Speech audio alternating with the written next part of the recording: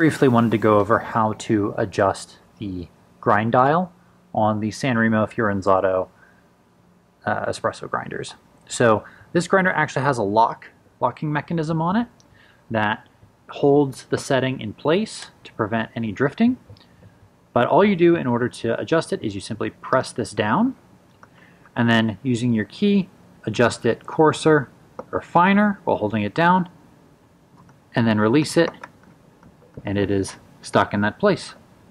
And that's it.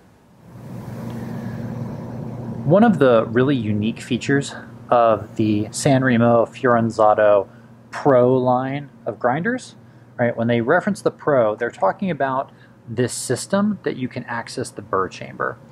And what's great about it is you do not need any tools. So you literally just flip this up and lift.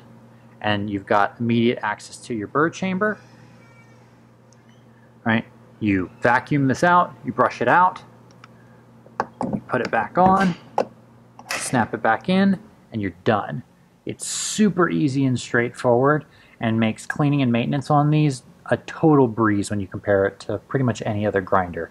Um, it cannot get easier than this.